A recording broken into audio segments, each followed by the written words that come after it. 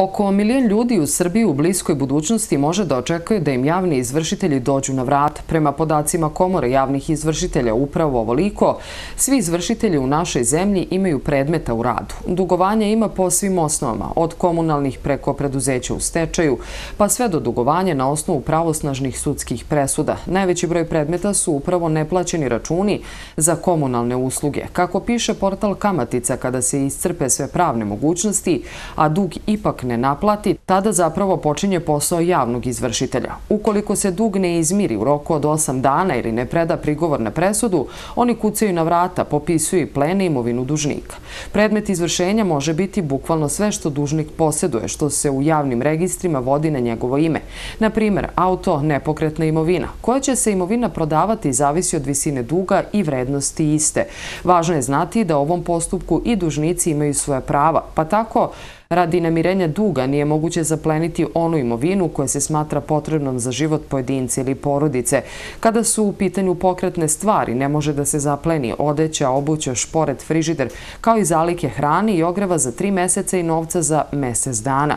Ukoliko je dužnik korisnik nekih socijalnih davanja, prima deči dodatak ili invalidninu, ni to ne može biti predmet zaplene, dok se zarade i penzije obustavljaju najviše do dve trećine ukupnog iznosa, ali ako je dužnik, na primjer, stolar ili frizerka i tako zarađuje za život i izdržava porodicu, to se ne smatra osnovnom imovinom potrebnom za rad. Tada bi predmet izvršenja bila i sva njihova sredstva za rad u slučaju stolara sve mašine, a u slučaju frizerke sva oprema za frizerski salon. Ukoliko je dužnik podstanar i na toj adresi prijavljen, osim njega, dugove plaća i vlasnik tog stana, ali i on ima svoje prava. U komori javnih izvršitelja objašnjavaju da bi to treće lice trebalo da pokrene postupak za dokazivanje da je imovina u stanu njegova, ali ni to ne zaustavlja izvršitelja. Te kada to sud utvrdi, obustavlja se plenitba imovine i zato oni apeluju na sve dužnike da je najbolje da se sa izvršiteljima i srađuje, kao i da zajednički mogu pronaći i olekšavajuće okolnosti. Jedna od njih je ako, na primjer, dužnik donese potvrdu da mesecima nije primio zaradu. Također mogući je dogovor da se dug otplaćuje na rate. I na kraju, ceo postupak prinudne naplate dugovanja ukoliko ukoliko se to nedvosmisleno utvrdi, može se potpuno zaustaviti zbog nemaštine, odnosno siromaštva dužnika. Od 2012. godine, kada je komora osnovana do danas, bile ukupno oko 2 miliona predmeta.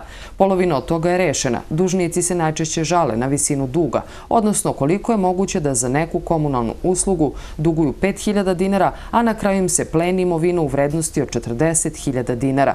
U komori objašnjavaju da je deo toga kamata koje se obračunava svakog dana, a ostatak ide za troškove prinudne naplate, koje je sama po sebi veoma skupa.